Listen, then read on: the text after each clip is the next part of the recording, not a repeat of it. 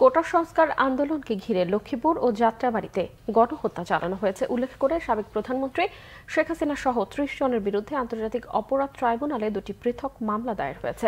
নিহতের পরিবার দুটিকে মামলা দায়েরের প্রক্রিয়ায় আইনি সহায়তা দিয়েছে জাতীয় নাগরিক কমিটি।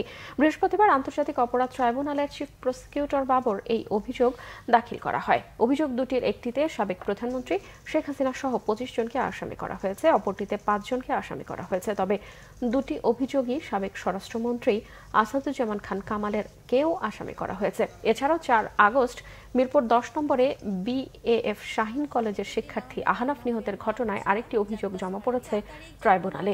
ছেলে হত্যাকাণ্ডের সুষ্ঠু বিচার চেয়েছেন তার মা। চিফ প্রসিকিউটর তাজুল ইসলাম জানান, আন্দোলনে জড়িত যে কোনো শিক্ষার্থীর অভিযোগ ও তথ্য জমা দিতে পারবেন ট্রাইব্যুনালে। সেক্ষেত্রে নিরাপত্তা নিশ্চিত করা হবে শিক্ষার্থীদের।